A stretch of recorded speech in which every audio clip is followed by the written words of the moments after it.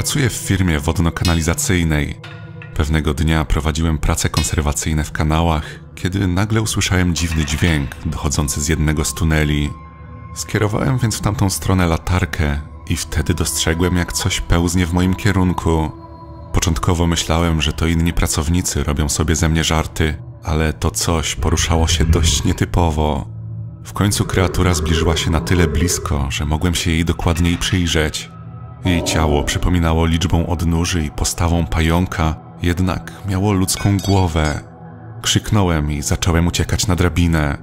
Natychmiast zadzwoniłem na policję, a po przybyciu ci zeszli na dół i zaczęli przeszukiwać tunele. Niestety nie udało im się znaleźć tej tajemniczej kreatury.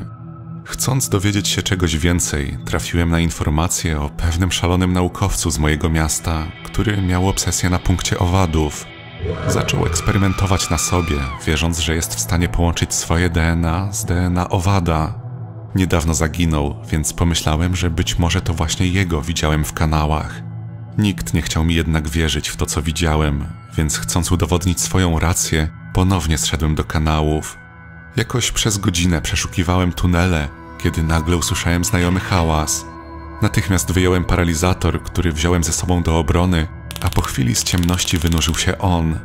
Gdy mnie zobaczył, natychmiast na mnie ruszył, próbując mnie złapać. Był bardzo szybki i w końcu mu się to udało. Złapał mnie za nogę i zaczął ciągnąć po ziemi z ogromną prędkością. Walczyłem i próbowałem mu się wyrwać, i na całe szczęście pomógł mi w tym paralizator. Kreatura obaliła się na ziemię i zaczęła warczeć, a ja miałem okazję dokładniej przyjrzeć się jej twarzy. Zdecydowanie była to ludzka twarz, a cała skóra kreatury była zielona, z przebijającymi się spod niej czarnymi żyłami. Pytałem kreatury, czym jest, jednak ta, trzęsąc się, próbowała mnie znowu złapać. Ponownie poraziłem ją prądem, aby upewnić się, że jest obezwładniona, a następnie zadzwoniłem na policję. Potwora zabezpieczono i uznano, że jest to zaginiony doktor. Następnie zamknięto go, czekając na dalszy rozwój sytuacji. W zamknięciu kreatura przestała jeść i każdego dnia słabła, więc policjanci wypuścili ją ponownie do kanałów, licząc na to, że dowiedzą się o niej czegoś więcej. Zaczęli ją śledzić, znajdując po drodze wiele ludzkich szczątków bez nóg, aż w końcu dotarli do gniazda, w którym znaleźli profesjonalne narzędzia chirurgiczne. Następnie ponownie zamknęli kreaturę, jednak ta znowu odmówiła jedzenia i niedługo później zmarła.